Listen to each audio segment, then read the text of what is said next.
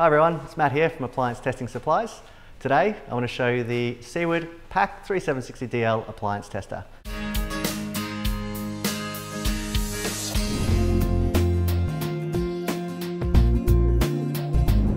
This is one of the more basic testers in its price bracket. Considering its low price point, it's packed full of features that makes this tester really enjoyable to use. The PAC 3760 is lightweight and it's also battery operated, means you can pretty much test in all kind of environments without having to find mains power.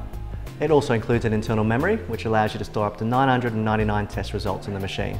The RCD testing is easy with this unit as it comes with an inbuilt isolation transformer. And that's a real standout feature at this price point because it means you don't have to buy any other equipment.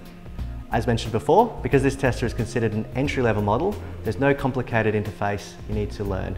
Just simply press one of the nine buttons and it corresponds to the appropriate tests. The Seaward PAC 376DL is also compatible with the Seaward printers, so you'll have an option to upgrade the system in the future if this is something that you wish to add on. You'll also be able to add a three-phase adapter so you can test three-phase appliances.